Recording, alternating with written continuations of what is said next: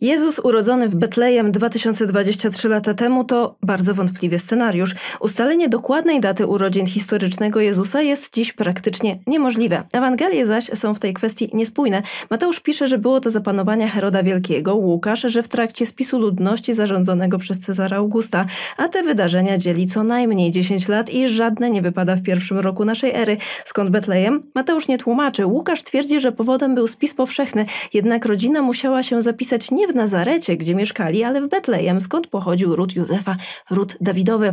Dla administracji państwowej bez sensu. Chodziło o podatki, a nie genealogię. Ewangelistom zaś zależało na powiązaniu Jezusa z Betlejem, ponieważ Mesjasz miał pochodzić z miasta Dawida.